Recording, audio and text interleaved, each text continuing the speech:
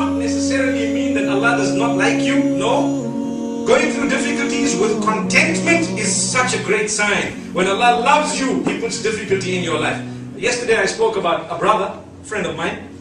He told me many years ago that I've never had the reason to call out to Allah. He's always given me absolutely everything. Until one day, something came crashing. And I realized it's the first time in my life, 25 years down the line, that I actually raised my hand and says, Ya Allah, I actually need you now. I told him, brother, that's a gift of Allah. He loves you so much that He did something to you so that you can get close to Him. When Allah loves you, He does something to bring you closer to Him. That's a sign of top love, mashallah. Allahu Akbar.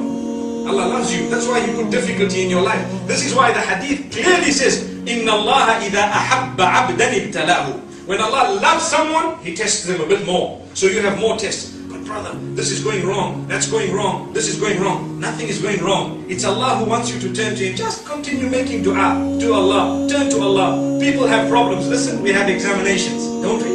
MashaAllah. Exam time, what do we do? Suddenly, the Quran comes out. The Musalla comes out, mashallah. Everything, Allahu Akbar. Alhamdulillahi Rabbil Alameen. Rabbil Alameen. Ar-Rahman Ar-Rahim. Mashallah. Why? Help me.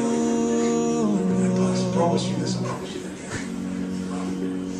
wrote the examination, what happens? Results come out. A's. Ah, guys, let's go clubbing, man. Well, we passed, we got a party, don't we?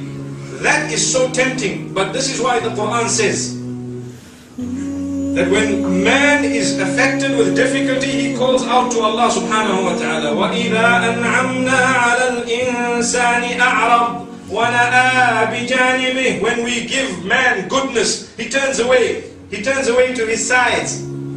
As though, subhanallah, he was never affected by anything. And Allah says, when we test him, وَإِذَا مَسَّهُ الشَّرُّ فَذُو دُعَاءٍ عَرِيضٍ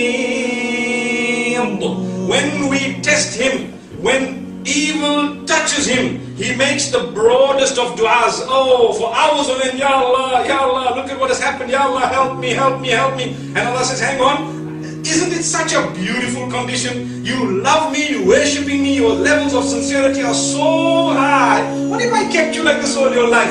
Wouldn't you enter paradise automatically? Subhanallah. Look at what we've got in store. But we don't look at it that way.